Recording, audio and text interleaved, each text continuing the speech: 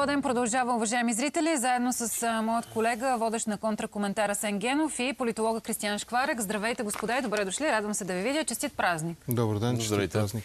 Стъпваме на политическия терен няколко часа преди официалния старт на кампанията. Между другото, някак се плъзнахме всички журналисти да говорим как днес е 9 май и стартира кампанията. Тя всъщност стартира в полунощ. Отбелязвам го, защото вчера Русица Матева от ЦИК така ме поправи и мен самата.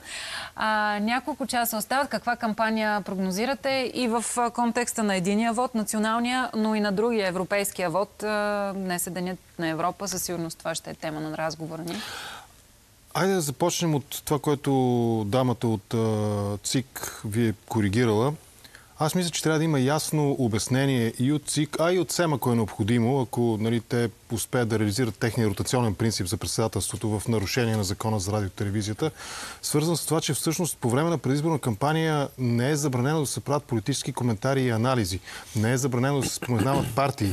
Регламента изисква финансовите взаимоотношения между партиите и медиите да е Да са ясен и да е деклариран от една страна и от друга страна да няма нерегламентирано агитиране. Но ако ние с господин Шкварек или с вас обсъдиме слабостите или силните страни на кампанията и визираме конкретни партии, това няма да е агитация в този смисъл. В национален ефир включително. Така е. Ми, да, да. включително в Защото и национален аз ефир. така знаех, че не може да се говори за партии и да се спомня. Има, има някакви такива насъдени То може а, не, не правило. правила, да, Когато- които да, наистина кодекс. стопират... Когато ви гостуват, когато ви гостуват е странно, водещи нали, хора от тези институции, ги питайте, задайте им този въпрос. Ако има новина свързана с конкретен политик, няма да му кажем името ли? Странна е и лойката по принцип на това нещо. Нали, Аз като гледам други кампания за държави... агитация пък от друга страна. Ами, то как е агитация? Де факто, сега ако отидете в Америка, поне на, пред, е на това? предизборната а, Не е кампания, дали ще има забрана да се говори за републиканци и за демократи, нали? и то на 6 месеца, защото тя там толкова време продължава.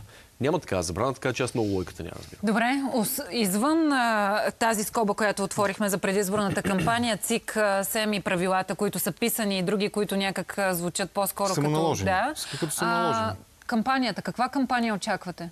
И ще претопи ли националния вод европейски? вече, кампанията вече започна проблематично. Вече чуваме и четем коментари от различни партии, от различни политически субекти, свързани с така наречените парашутисти в листите. Аз много харесвам примера на господин Мерц в Германия. Консерватор, десен политик.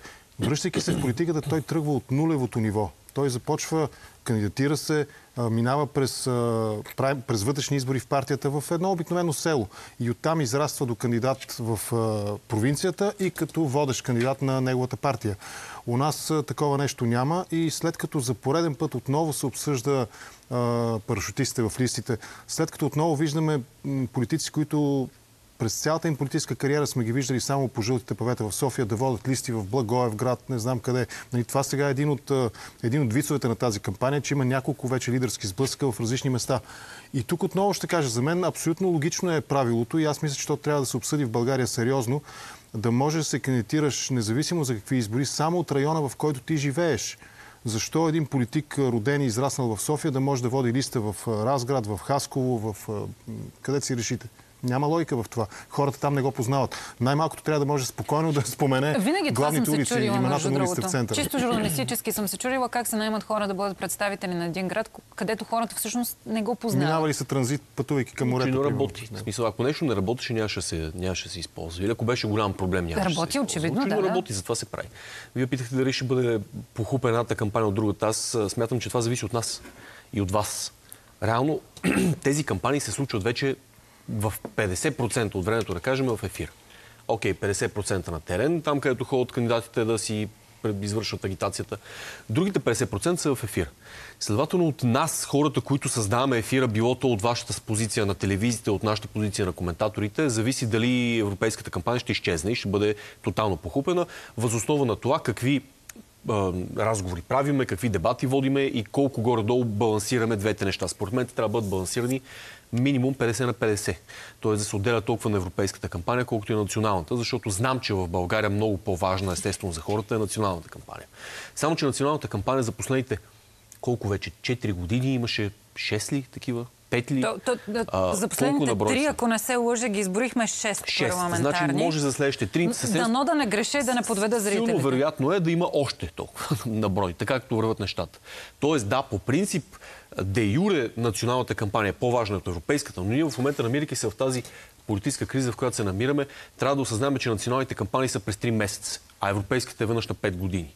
Затова, може би, трябва да има малко повече тежест да сложим този път на европейската, защото тя определя нещо, което от което зависи почти всичко, което се случва в България в момента. Има, Да. има и друг момент, прощавайте, че така се врязвам в разговора, но а, не случайно не е препоръчително, според логиката и Да правят в Европе... да, да се правят в Европейския съюз, да се правят две в едно кампании. По една много проста причина, в българския контекст това означава, че тези партии, които съществуват само заради своята фалшива заявка за несистемни или за антисистемни партии, те много лесно ще подменят, и това убеден съм, че ще се случи и по време на тази кампания, ще подменят европейския разговор от националния, вътрешния разговор. Грубо казано, ако си позволя една метафора, въпроса с колективната отбранителна способност на Европа няма нищо общо пряко, в политическия смисъл на думата, с качеството на асфалта и онези ядки, които гледахме по българските Да. телевизии.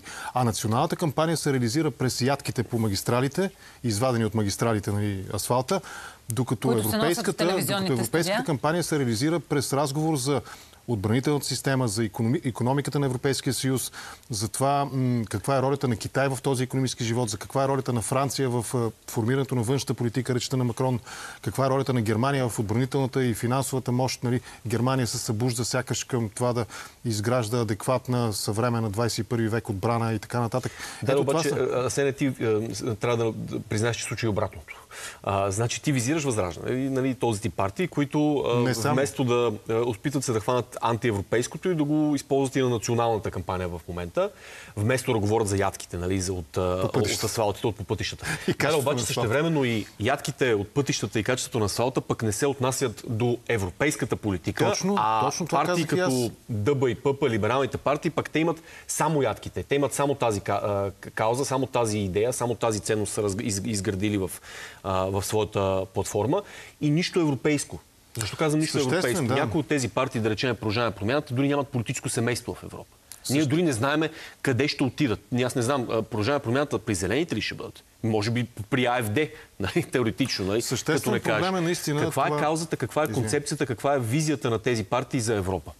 И, и го казвам с следното притеснение. Притеснението ми е, че тези хора имат само една конкретна визия за, за, за Европа и вече не са само те, впрочем. И това е повече либерализъм.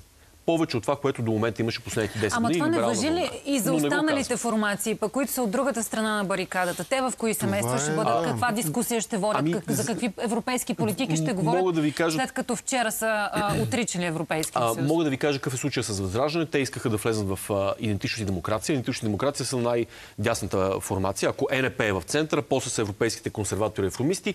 Идентичност и демокрация са там, където са националисти. Тоест а, Люпен, а, а, АФД, а, ми, те са крайно десни, те са националисти. А, м, там искаха да влезат, но доколкото и даже той беше прият на един конгрес, където водеше, изнасяше реч Костадинов, след което се отдръпнаха обаче АФД от тях, а, а идентични демокрации. Идентични демокрации решиха да не приемат възраждане и то, доколкото аз разбирам, защото а, възраждане бяха изпратили свои представители на една конференция в Москва в деня, в който беше починал а, Навални. Тоест, те бяха малко или много неприети в идентична демокрация, поради което от тогава насам обърнаха почта и казаха, ние ще създаваме наша си група в Европейския парламент. Тоест, те няма да влезнат в група, те ще си създадат нещо собствено си там, ако намерят още 7 партии в, в парламент европейски, с който да го направят. Но техните политики са ясни. Аз искам да кажа нещо, което според мен много м, се обягва в момента в разговора за европейска политика. Имаме две ясни визии в момента, между които трябва да избираме на европейските избори. Едното е либерално и европейско, другото е антилиберално и антиевропейско. Няма го това по средата, което го има във всяка една голяма европейска държава, консервативно и европейско. Добре. Това липсва. Господин Генов, продължете. Да, сериозен проблем е това, че в България много партии имат причина за, съществуване, която е сравнима с един средностатистически лозунг от улицата, когато има някакво напрежение, протести и така нататък.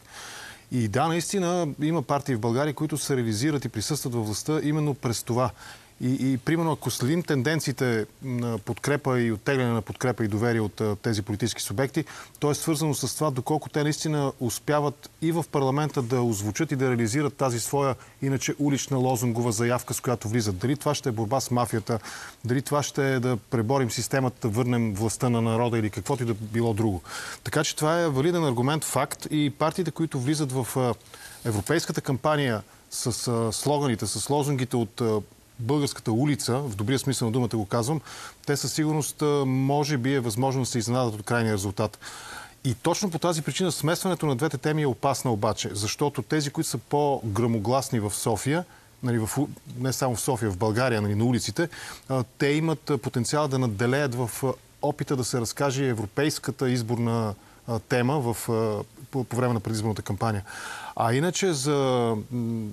Аз не знам защо трябва да се противопоставяме на идеята за либерална Европа.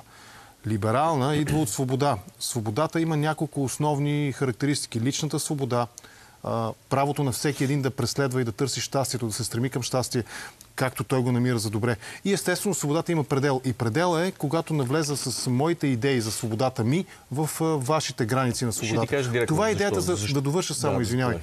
Това е идеята за либералното и за либералната демокрация. От там нататък наистина може да видим и злоупотреби в политическия смисъл на думата крайно преекспониране на някакви конкретни тези, като например идеята да бъде потисната някаква форма на културно, нали, на културно потисничество, да бъде спряна такава, да бъде блокирана такава, такава тенденция. Това е факт. Но това е в крайния политически спектър. И тук аз бих подинал въпроса доколко тези политически субекти, които обсъждаме, които имат потенциала да да доведат нещата до това всъщност Путин да спечели значителен дял в Европейския парламент след тези избори, доколко те наистина са крайно десни. Ми това са партии, които се реализират през своята идея за тоталната държава, за тотален контрол върху всички базисни човешки права и свободи. И това в никакъв случай не са крайно десни партии. Това са едни крайно леви, етатистски партии по своята същност. И уви, Възраждане, а и тези, с които те ще се борят за един електорален сегмент, сегмент в тази кампания, изцяло се вписват точно в тази характеристика. Който и да погледнем от нововъзникналите саби, щитове и какви ли не вече видяхме имена на партии, те имат тази идея. Свръхдържава, която контролира всичко, ограничава всичко, което вреди на така наречения национален интерес, който обаче се изразява през партийните лидери, а не през общия консенсус, съгласието на гражданите на тази държава. Това са крайно леви етатистски формации. Този разказ също трябва да го има в европейския в европейския Аз не съм сигурен къде го виждаш. Това не, много не желая да влизам в позицията на защитник на а, конкретно нито възраждане, нито на, на тези, които наричаш крайно десни.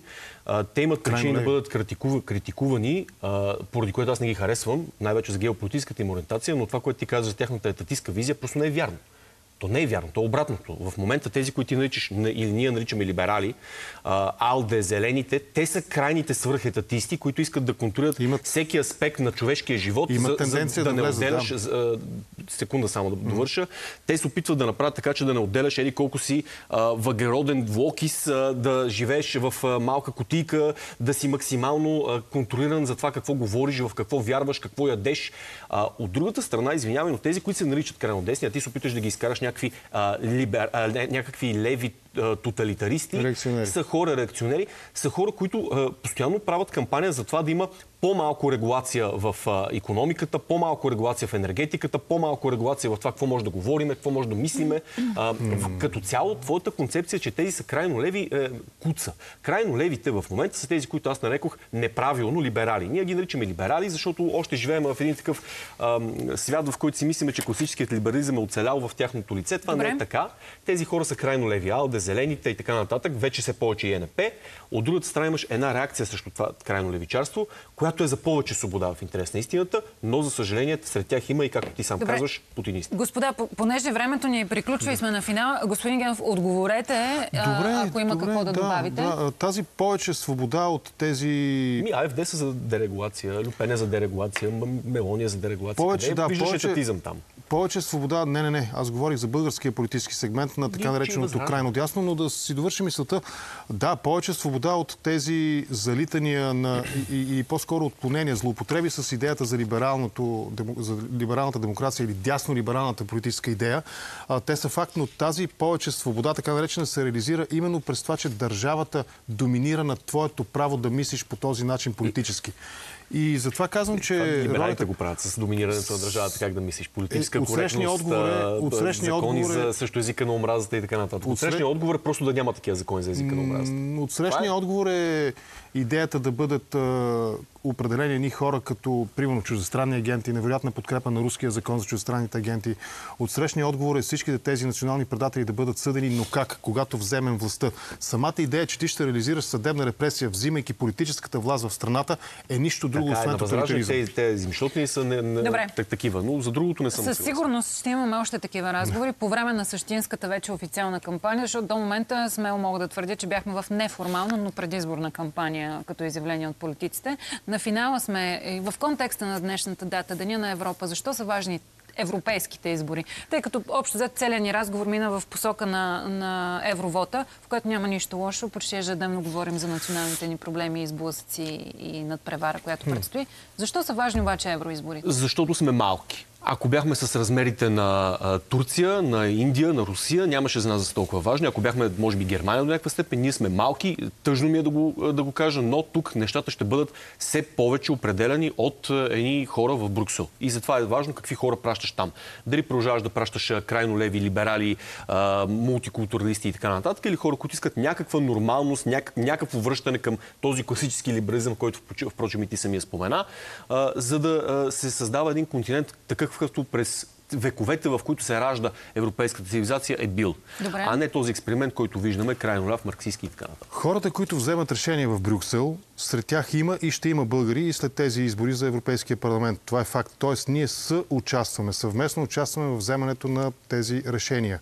Защо в разговора за Европа, Европа и за Европейския съюз и за България в Европа е важен? Ами той е важен още от, как се казва, декларацията за независимостта, нашата, манифеста за независимостта, в която се казва, че България ще се върне сред семейството на цивилизованите народи. Мисля, че нямаме съмнение и тримата сме съгласни с това, че европейските народи са тези цивилизовани народи. Те са част от европейската християнска цивилизация.